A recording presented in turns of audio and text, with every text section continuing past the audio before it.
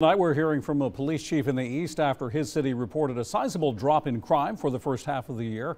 Amarachi Uche spoke with the chief to learn about what actions they've taken to contribute to the drop. She's live in the studio now with more. Amarachi? Yeah, Dave, earlier today the Kinston Police Department released its biannual crime report for 2020. Now Police Chief Keith Goyette says the report is released so the community knows what their department is dealing with at the time.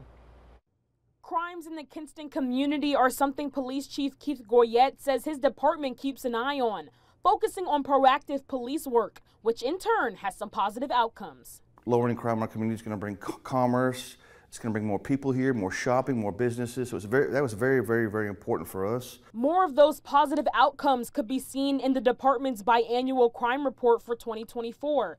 According to the report released Tuesday, felony crimes dropped by 18% compared to the first half of 2023, while minor or misdemeanor crimes saw a significant drop of 66%.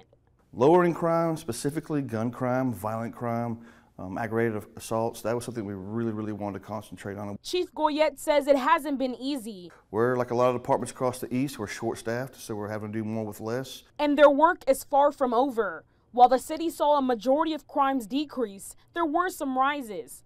Murders increased 38%, going from 2 to 3 for the first half of the year. DWI arrests jumped from 12 to 66, a 450% increase year to year, which the chief says is thanks to the crackdowns on the road. We really put an emphasis uh, with our with our officers here in Kinston, you know, our, our patrol captains and patrol sergeants, I really understood that, you know, we really need to work hard on DWIs and our officers have just been more proactive with DWIs and that's why the, the numbers were so, so much increased. As the year continues on, Chief Goyette says the numbers may change, but the department hopes to be as transparent as possible to the community it serves. We want our community to know that our officers are dedicated to our community. We want to provide a safe, safe environment for everybody who lives here, visits here, and works here.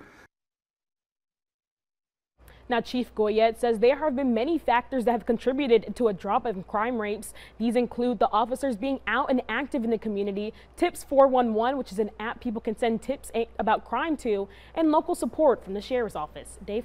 All right, thanks, Amarachi. And for the full biannual crime report, you can head to our website, WITN.com.